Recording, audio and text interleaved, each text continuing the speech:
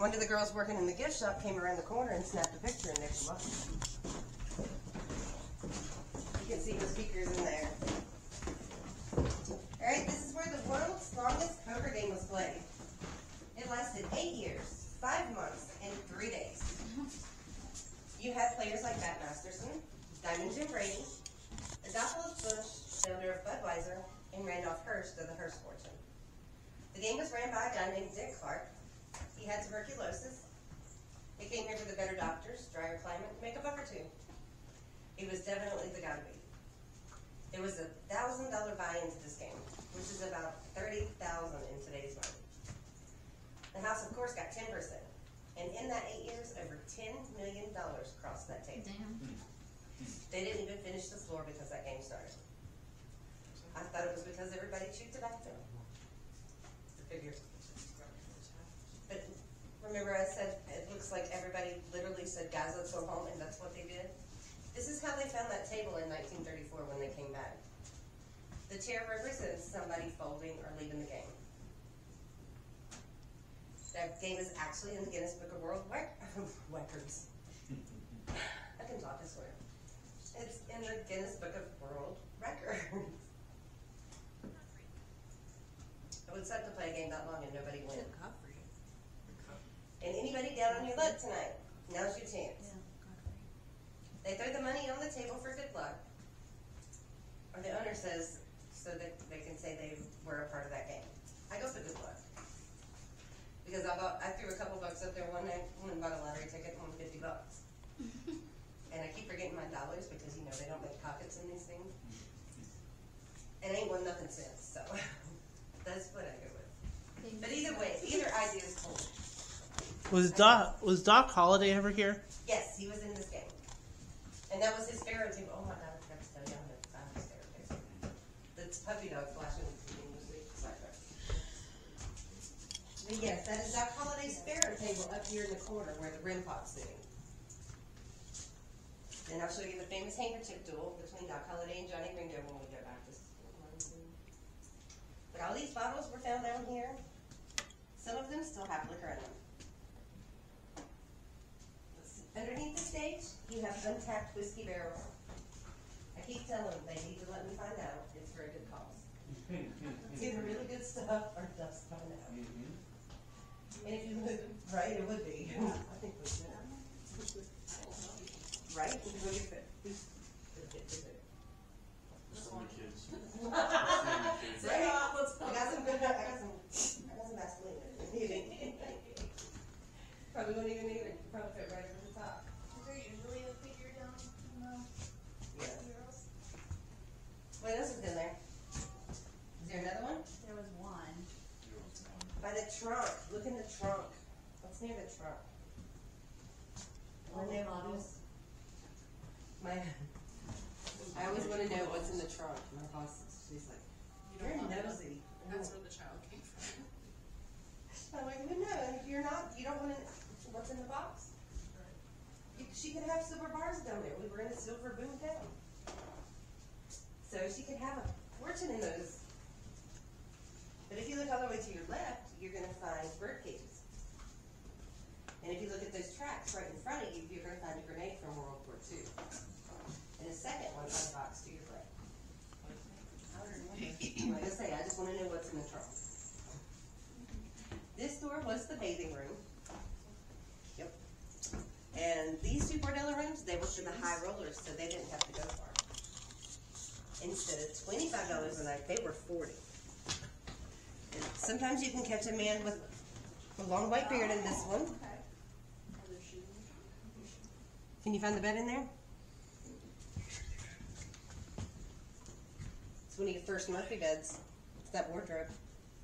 Oh wow. And this one was occupied by Josephine Marcus or Sadie Joe. Her license to practice prostitution is hanging in the frame by the door. Tombstone in the 1880s, there were over 3,400 licenses to practice prostitution issued here. Hmm. I just want to know what the final test was. Is that from Boyle? I think that's the screw. Oh, screw. Hold this shut. Okay. Because they're screwed shut. And hold on to your camera if you put it through there, because they will knock it out of your hand. And that is again above my pay grade. But Tombstone was only eighteen blocks long, and they had hundred and six saloons here. Uh-huh. So definitely no shortage of women or whiskey. And your nude photo of Sadie Joe, that was meant for Sheriff Behan, because that's who she moved here to be with, but it didn't surface until after Wyatt Earp died. She was so distraught over his death, she didn't even attend the funeral. My husband would help me for sure. In here is the document room. There's a lot of faces of the ladies that used to work here. A lot of faces to the names you've heard around town. A lot of cool stuff. Tombstone had a huge Chinese population. It was ran by China Mary. She also controlled the underground opium dens. And your bullet hole in the bar was meant for that lady in the burgundy frame. That is Miss Minnie, or Big Minnie as they called her. She was almost six foot tall, which is unheard of back then. And she was 230 pounds of pure lusciousness and a pink tutu. She was also the bouncer. Hmm. But I she threw a guy out, and I guess ashamed to be thrown out by a woman, he turned and fired. It was also a bad shot he missed. You have Madame Moustache in the corner. I heard she really did have a mustache. But she controlled the French ladies. And here in the double frame, you've got Billy, Girl, uh, Billy Milgreen in Gold Dollar. Gold Dollar murdered Margarita here. Margarita had the hots for her man.